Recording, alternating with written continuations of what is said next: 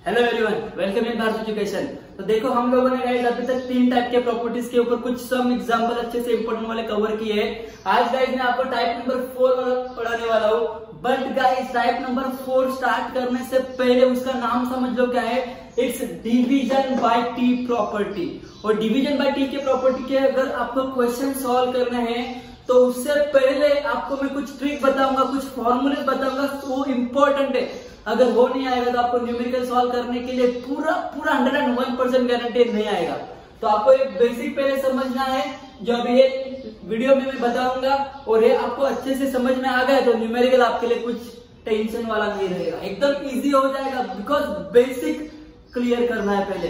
तो देखो, पहले क्या करना है? डिविजन बाय टी प्रॉपर्टी का फॉर्मूला क्या होता है? देखो, अभी तक आपको इतना तो आइडिया आ चुका है क्वेश्चन में एक फ़ंक्शन होता है। हम लोग क्या करते हैं, वो फ़ंक्शन का लैपलास निकालते हैं। तो लैपलास निकाला तो क्या होता है मतलब क्या गाइस हम लोगों को एफ़ ऑफ़ टी गिवन होता है, इसका लैपलास निकालने के बाद हम लोगों को एफ़ ऑफ़ एक्स मिल जाता है। तो करने का क्या? एफ़ ऑफ़ एक्स जैसे बना, इधर डाल दो, उसका इंटीग्रेशन कर दो limit S to infinity compulsory है। बस इतना है। अभी ट्रिक क्या है? फॉर्मूले क्या करके करना है तो देखो। अगर इनकेस इंटीग्रेशन के साथ ऐसा रहेगा integration one upon x square plus a square dx तो आपको इसका बेसिक फॉर्मूला याद करना है जो आपने पहले ही पढ़ चुके हो आप लोग। वन अपॉन इधर जो भी नंबर आएगा उसको लेने का बट स्क्वायर में नहीं लेने का। टेन इनवर्स इधर एक्स का वैल्यू और ए का वैल्यू डाल देने का। ये पहला फॉर्मूला है ओके गाइस ऊपर वन कंपलसरी है, याद रखने का, ऊपर वन कंपलसरी है।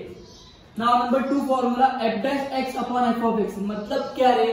नीचे का डेरिवेटिव अगर ऊपर है फॉर एग्ज़ाम्पल नीचे टू एक्स है, ऊपर टू है तो टू एक्स का डेरिवेटिव टू ऊपर है ना गाइज़ तो इसका आंसर क्या रहेगा? लॉग ऑफ़ टू एक्स मतलब आंसर क्या लिखने का? लॉग ऑफ़ जो डिनोमिनेटर टर्म है उसको लिखने का। मतलब नीचे का डेरिवेटिव ऊपर रहेगा तो। थर्ड फॉर्मूला ये तो आपको बेसिक पता ही है। Log a minus log b is what log a by b इसके बारे में ज़्यादा बोलूँगा जब मैं, नहीं बिकॉज़ ये पहले से बहुत बार कर चुके हैं।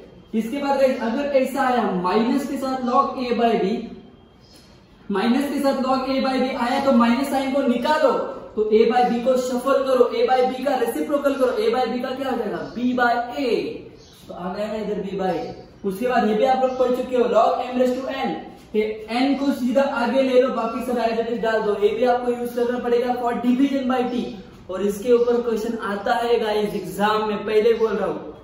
उसके बाद number four that is a D tan inverse infinity क्या होता है? क्यों लगेगा आपको? जब आप ये फॉर्मूला यूज़ करोगे और ये लिमिट पुट करोगे इंफिनिटी वाला तो टेन इनवर्स इंफिनिटी क्या होता है? हमारा पाई बाई टू होता है। क्या होता है?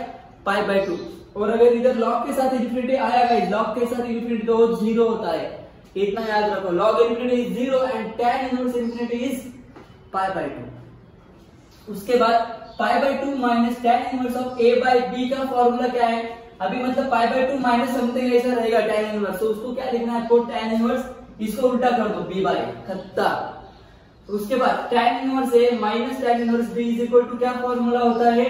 Tan inverse a minus b a plus a b अगर इनकेस इधर प्लस रहेगा ओके गाइस अगर इनकेस इधर प्लस रहेगा तो आपको इधर प्लस देना है, इधर माइनस देना है। बस इतना याद रखो, बस।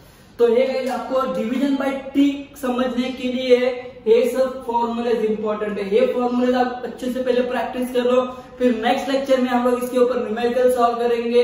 बट ये फॉर्मूले नहीं तो division by T division by T नहीं आएगा आपको। इतना याद रखो। So thank you so much guys for this video मिलते हैं नेक्स्ट लेक्चर में।